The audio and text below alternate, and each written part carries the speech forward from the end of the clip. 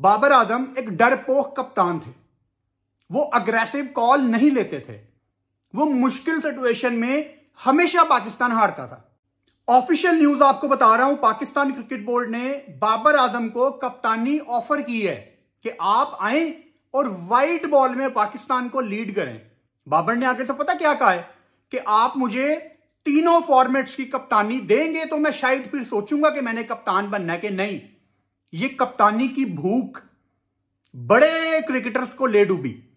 TV पे आके ये लोग बातें करते हैं कि ये भाइयों की टीम है। कोई भी कप्तान हो, कोई फ़र्क नहीं पड़ता। हैशटैग चलते हैं, सोचना भी ना, सोचना भी मना है। अब इनको चाहिए तीनों फॉर्मेट्स की कप्तानी, वरना नहीं चाहिए। मुझे बनाना है तो तीनों फॉर्मेट्स का कप्तान बनाओ। क्यों? क्या किया बाबर आज़म ने अपनी कप्तानी में पाकिस्तान के लिए?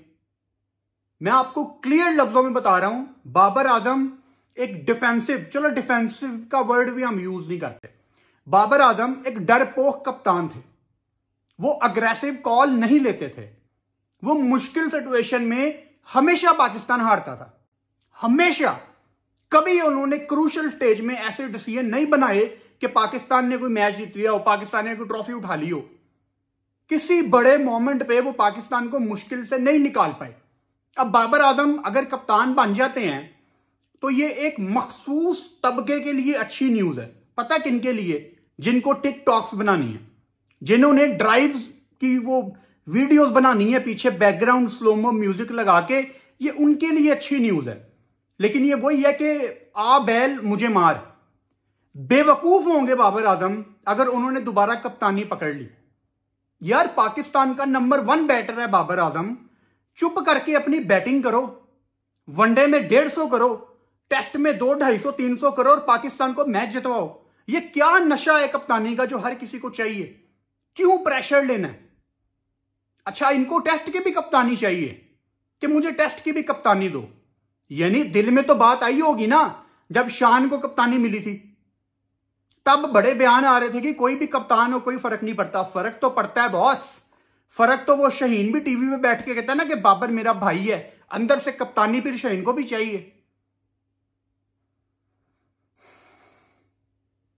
आपको नापसंद है शान मसूद, कोई फ़र्क नहीं पड़ता।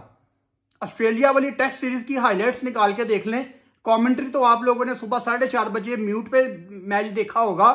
एडम गिलग्रिस्ट, वसीम अकरम, कोई दुनिया का बड़े से बड़ा कमेंटेटर पाकिस्तान की कप्तानी की तारीफ़ कर रहा था पहली दफ़ा। कि यार अग्रेसिव कप्तानी पाकिस्तान ने की है।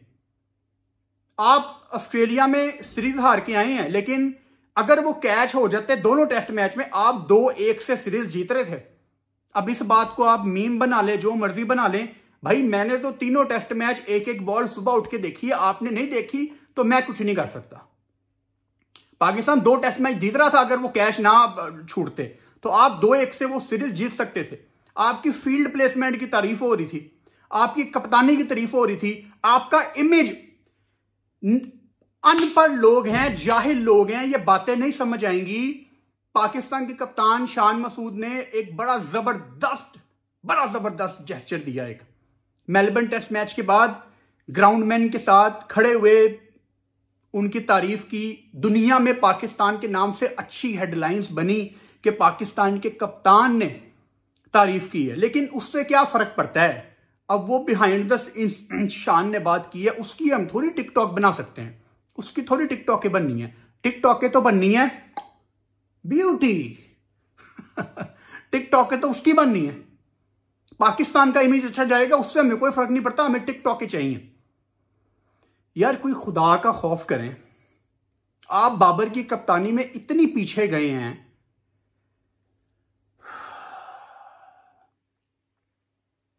हर क्रूशल मोमेंट पे कोलैप्स किया बाबर आज़म ने एज ए कैप्टन हर क्रूशल मोमेंट पे। वो इंडिया में कोई बड़ा जर्नलिस्ट बैठ के कह दे कि जी पाकिस्तानी अवाम तो बेवकूफ़ है, उनको इतने अरसे के बाद एक बैट्समैन मिला है, सारी अवाम उसके पीछे पड़ी हुई है। आप लोग बड़ा अप्रिशिएट करते हैं। या वो सही कह रहा है, वो इंडियन जर्नलिस्ट बड़े अरसे के बाद पाकिस्तान को एक अच्छा बैट्समैन मिला है। बैट्समैन कप्तान नहीं आप क्यों कंफ्यूज हैं? आप क्यों मिक्सअप करते हैं कप्तानी को बैटिंग के साथ? वो पाकिस्तान का नंबर वन बैटर है। लेकिन वो कप्तान कभी नहीं था। उसको अभी तक ये खुद क्यों नहीं समझ आ रही कि यार मैं कप्तानी का मटेरियल नहीं हूँ? क्या क्रिकेटिंग सेंस की कमी है उसके अंदर? किस चीज़ की कमी है उसके अंदर कि उसको समझ नहीं आ रही कि मैं कप्तानी का मटेरियल नहीं हूँ? बाबर की कप्तानी में पाकिस्तान ने कुछ नहीं किया। कुछ नहीं किया। कोई नीचे मुझे कमेंट बॉक्स में साबित कर दे कि बाबर की कप्तानी में ये क्रूशल पॉइंट था। मतलब आप मैच जीत रहे होते हैं, आपको पचास पे पाँच आउट होते हैं, आप चेज करवा देते हैं। एमसीजी में आप एक बॉलर शॉट खिलाते हैं। आप नवाज़ से फास्ट बॉलिंग करा देते हैं। फील्डिंग आपकी खुली होती है। एशिया कप में के राहुल आता है, उनके दो तीन आउट होते हैं। आप फील्डिंग खोल के उसे सौ करा देते हैं। आपकी कप्तानी ज़ीरो है। आपको जब पहले दिन कभी ज़िंदगी में कप्तानी मिली थी ना, आप तीन चार साल के बाद भी वैसे ही कप्तान है। आपने ग्रो ही नहीं किया एज ए कैप्टन अब मेरी बात अवल तो ये वीडियो थोड़ी लंबी हो गई है, यहाँ तक तो बाबर आज़म के फैंस पहुँचे ही नहीं होंगे, शुरू में आग लग गई होगी ना और तड़प रहे होंगे। आग लग गई है ना? तो यहाँ तक तो कोई पहुँचा नहीं होगा पता क्या करेंगे? गालियाँ निकालेंगे। अच्छा हमारे दोस्त हैं मिर्ज़ा लाल बेग कराची होते हैं मैं उनके साथ स्क्रीनशॉट शेयर करता हूँ। देखो आज इतने लोगों ने गालियाँ निकाली है गाली कोई फ़र्क नहीं पड़ता। क्रिकेटिंग लॉजिक पे बात करो यार। नीचे आके मुझे बताओ कि पाकि, पाकिस्तान अफ़गानिस्तान से हार गया वर्ल्ड कप में यार। पाकिस्तान जिम्बाब्वे से हार गया। कोई खुदा का खौफ करो यार। ये पाकिस्तान है यार। आप एक बड़ी क्रिकेट नेशन है। आपके जो हालात है ना अफ़गानिस्तान आपकी आँखों में आँखें डालता है। जिम्बाब्वे को पता होता है कि हम इनको हरा सकते हैं। क्या मजाल थी उनकी दो तीन साल पहले कि वो आपके साथ खड़े भी हो सके। आज वो आके आपकी आँखों में आके आँखें डालते हैं। क्योंकि आपकी स्ट्रेटजी गंदी होती है। बड़े मैचों में आप कुछ करते नहीं है। कौन से बड़े मैच में बाबर आज़म ने मैच निकाला है? बड़े मैच में बायलेटरल में ना बताना मुझे। एक ही बड़ा मैच है। वो 2019 का वर्ल्ड कप जो कि मैं थक गया हूँ बता बता के न्यूजीलैंड के अगेंस्ट बर्मिंगम में, उसके अलावा कोई एक मैच मुझे निकाल के दिखा दो। है ही नहीं। वो जी बायलेटरल में सौ किया था। बायलेटरल को हमने क्या करना है?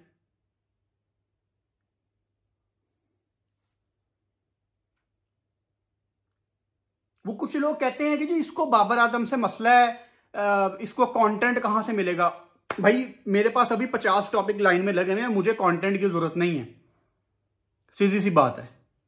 मैं इस पॉइंट ऑफ़ व्यू सोचू ना कि मैंने कंटेंट चलाना है मुझे व्यूज़ चाहिए फिर तो ठीक है अच्छी बात है बाबर आज़म कप्तान बन गए। मैं तो फिर उसके अगेंस्ट बोलने वाला बंदा हूँ। आपको तो ये लगता है ना लेकिन ऐसा नहीं है मेरी जान। ऐसा नहीं है। मेरा फ़ायदा तो फिर इसमें ही होना चाहिए ना कि बाबर कप्तान है ठीक है यार इसको रगड़ा लगाएँगे लेकिन नहीं मेरी जान मैं, मैं उन लोगों में से नहीं हूँ। जो वो लोग हैं ना वो गंदे लोग हैं वो गालियाँ निकालते हैं। मैं पढ़ा लिखा बंदा हूँ मैं न्यूट्रल होकर बात करता हूँ और आपको वो बातें लगती हैं बुरी। क्योंकि आप यहाँ सुनना चाहते हैं, तुम जीतो या हारो, हमें तुमसे प्यार है। आप सुनना चाहते हैं वेल प्लेड कोई बात नहीं, पाकिस्तान मैच तो हार गया, लेकिन दिल जीत लिया। आप यह सुनना चाहते हैं।